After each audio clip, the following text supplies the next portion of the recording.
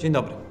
Proszę Państwa, e, kolejnym zagadnieniem przy budowaniu strategii eksportowej jest dokładne określenie przez przedsiębiorcę strategii e, wejścia na rynek zagraniczny. Jak Państwo widzą, e, strategia wejścia na rynek zagraniczny jest jakby złożona z dwóch elementów. W pierwszej kolejności przedsiębiorca musi wybrać jakby model swojego funkcjonowania na rynku zagranicznym, czyli czy chce działać w sposób bezpośredni, sam prowadzić wszystkie, działa, wszystkie działania w tym zakresie, sam organizować, sam organizować sprzedaż, dystrybucję, marketing e, i wszystkie tego typu e, działania, które są związane z eksportem, czy też chce mm, e, zaangażować do tego czynniki zewnętrzne, pośrednie, czyli prowadzić eksport w formie pośredniej. Obok tego, proszę Państwa, każda z tych form działalności eksportowej niesie ze sobą różnego rodzaju konieczność przygotowania określonego rodzaju strategii na gruncie produktu, na gruncie ceny, na gruncie dystrybucji, mm, e, na gruncie również ochrony własności intelektualnej. Wszystkie te elementy, zarówno kwestia bezpośredniego czy pośredniego zaangażowania się na rynku e, zagranicznym, jak również poszczególne strategie mm, tematyczne tworzą ogólnie całą strategię strategię eksportową, strategię wejścia na rynek danego kraju. Jeżeli chodzi, proszę Państwa, o formę wejścia na rynki zagraniczne, to tak jak wcześniej wspomniałem, wyróżniamy dwie zasadnicze, to jest eksport e, bezpośredni oraz eksport pośredni.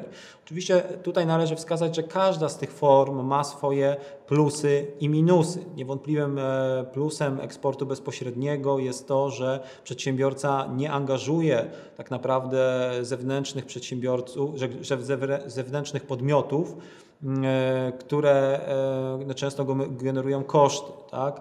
E, na pewno jest to też kwestia tego, że ponosi większe ryzyko takiej działalności, ponieważ sam działa. Tak? Najczęściej, jeżeli nie ma doświadczenia, to, to ryzyko jest zasadniczo większe. Natomiast niewątpliwym plusem takiej działania bezpośredniego jest fakt, że przedsiębiorca w tym zakresie pozyskuje niesamowitą wiedzę w zakresie funkcjonowania na tym rynku.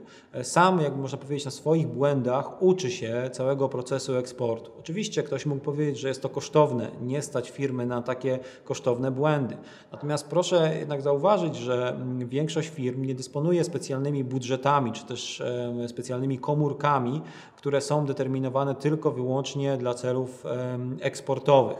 W związku z powyższym bardzo często angażuje w to pracowników, którzy mm, już do tej pory pracują na innych e, stanowiskach, niekoniecznie związanych z eksportem. Jeżeli właśnie w tym zakresie przedsiębiorca e, nie ma określonego potencjału, bądź też no, po prostu mówiąc wprost nie ma czasu, żeby takie działania podjąć, może zaangażować się w eksport pośrednio, czyli można powiedzieć, że przygotowuje tylko towar do sprzedaży, przygotowuje cały proces, ale tylko na etapie produktowym, e, jakimś informacyjnym, natomiast cała jakby działalność w zakresie prowadzenia eksportu, sprzedaży, dystrybucji, reklamy, informowania o działaniach na rynku skupia się na podmiotach, które już są pośrednio właśnie e, zaangażowane, czyli podmiotach zewnętrznych, które działają bądź na rynku mm, naszego kraju i również na rynku zagranicznym, bądź stricte na rynkach zagranicznych. Tutaj chciałbym zwrócić uwagę na jedną istotną kwestię. Mianowicie mm, na wielu rynkach, e, zwłaszcza pozaeuropejskich, niemożliwe jest wręcz działanie w oparciu o własne działania. I tutaj konieczne jest zaangażowanie przedstawiciela handlowego, dystrybutora albo osoby, która będzie odpowiedzialna za nasz eksport.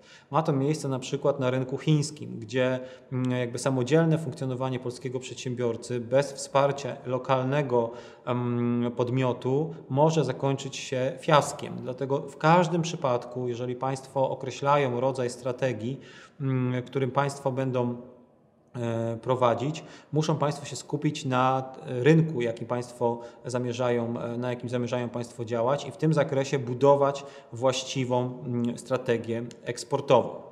Dziękuję bardzo.